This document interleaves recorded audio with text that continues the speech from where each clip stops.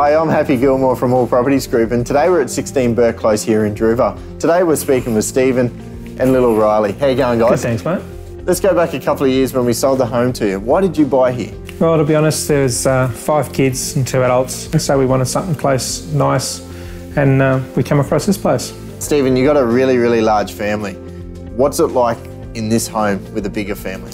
Great. There's uh, six bedrooms, two different living areas, as well as the room we're sitting in here. It's great from the point of view that all the kids can can play in the house and make noise, and we can still sit and be comfortable in one of the rooms, not hearing them. You've lived here for a couple of years. What is it about the area that you love? Just the location. I mean, it's central to get on the freeway to head in, into the, well, the city or down the Gold Coast or the schools, the neighbourhood.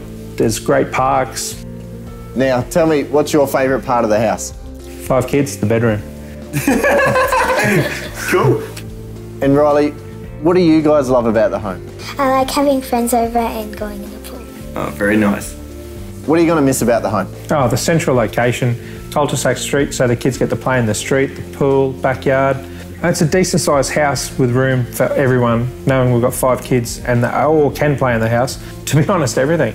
Stephen, look, thanks once again for your time today and giving us an insight on what it's like to live here at 16 Burke Close. Thank you.